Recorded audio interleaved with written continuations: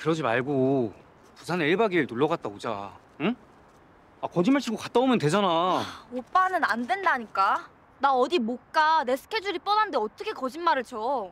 야 이루비, 너 이렇게 비협조적이면 나 너랑 못 사겨. 나 인기 많은 거 너도 알지? 나 은비랑도 연락한다.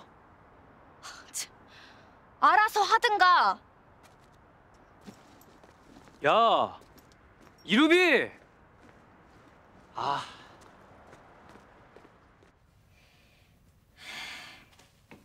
질문이 있습니다. 해. 아버지와의 관계는 어떻게 되셨습니까? 엄마가 노력했지만 회복하지 못했어. 그리고 네 엄마, 네 아빠의 관계를 더 이상 신경 쓰지 않을 거야. 오로지 너희들한테만 신경 쓸 거야. 그게 더 이득이라는 결론을 내렸어. 할머니가 제사쇼를 한 번 더 버리시면 가실 예정입니까? 미쳤니? 나도 안 가. 다음 질문하겠습니다.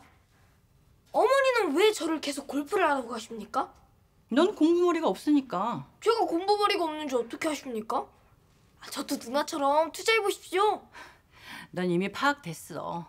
어려서 놀이방에 널 찾으러 가면 다른 애들은 낮잠 시간에도 잠을 안 자서 선생님들이 되게 힘들어했는데 넌 아침에 오자마자부터 자고 있다고 선생님들이 널 제일 이뻐하셨어. 잠만 자는 순둥이라고.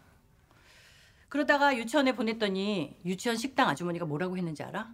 풀립반 이필립은 밥 먹을 때 제일 먼저 달려온대. 그리고 가장 늦게 자기 반으로 돌아간대. 초등학교 1학년 때 네가 아침을 안 먹고 가서 엄마가 빵을 사가지고 교실에 갔더니 다른 애들은 다 열심히 공부하고 있는데 넌 창밖을 보면서 코딱지를 파고 있었어. 그때 엄마는 깨달았어. 넌 공부에 그른 애라는 걸 말이야. 좋은 부모란 자식의 한계를 빨리 파악하는 게 좋은 부모야. 좋은 부모는 자식에게 어떠한 이유로도 상처를 주지 않는 게 좋은 부모입니다. 제가 나중에 마흔 살이 되어서 추석날 찾아와서 술을 많이 마시고 주정을 부리거든.